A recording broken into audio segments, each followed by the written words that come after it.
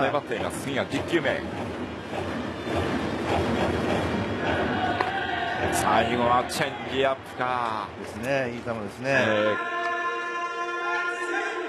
ー、粘られましたが岸。ファーストゴロです。鈴木大地さばいた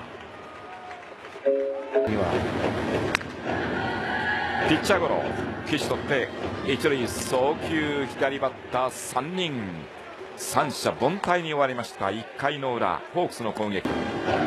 ランナースタート空振り三振。ここは空振りの三振。右バッターに対して3割以上打たれている岸ですが。右にはやっぱりいいんでしょうね空振りの三振。インサイドを攻められた甲斐。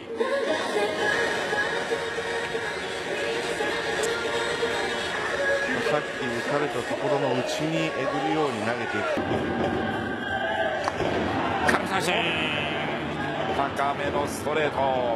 チェンジアップが頭にあってストレートに読まれ次のボール。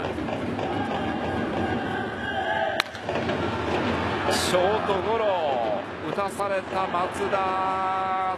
チャンス潰しました。ホークス岸を抑え